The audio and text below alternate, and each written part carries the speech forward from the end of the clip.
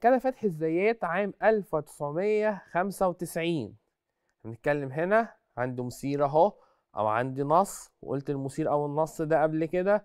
قد يكون مقولة قد يكون حكمة قد يكون أبيات شعرية قد يكون رأي قد يكون تقرير. اتفقنا على الكلام ده واتدربنا عليه. طيب أن التجهيز والمعالجة المعالجة الأعمق للمادة المتعلمة معناه توظيف أكبر للجهد العقلي. واستخدام شبكة أكبر من الترابطات المتعلمة والمعرفة الماثلة في الذاكرة. الأمر الذي ييسر يعني بيسهل التذكر يعني استرجاع المعلومات أو الاسترجاع اللاحق لها.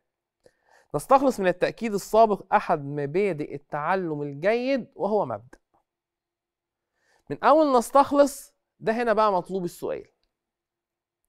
وأنا خدت مبادئ للتعلم الجيد متعددة.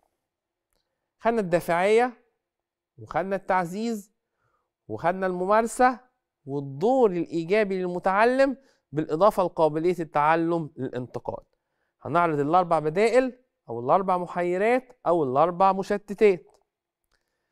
التعزيز والتغذية المرتدة الدور الإيجابي للمتعلم الممارسة المجدية قابلية التعلم للانتقال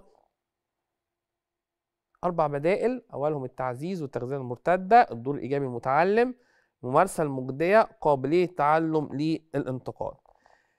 أرجع عندي هنا المثير أو النص في البداية وجهد عقلي واستخدام شبكة أكبر من الترابطات المتعلمة والمعرفة الماثلة في الذاكرة.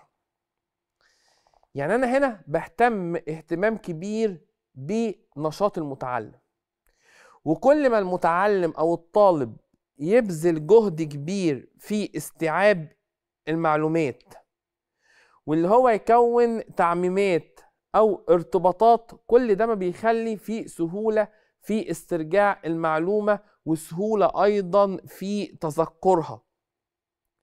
طب أنا طالما بهتم بالنشاط الإيجابي للمتعلم يبقى طبعا هنا ده مبدأ أساسي من مبادئ التعلم الجيد ألا وهو الدور الإيجابي للمتعلم ما تنساش اللي إحنا اتفقنا كل ما كان تعلمك أو كل ما كان ليك إيجابية في التعلم كل ما كان تعلمك أكثر إيه؟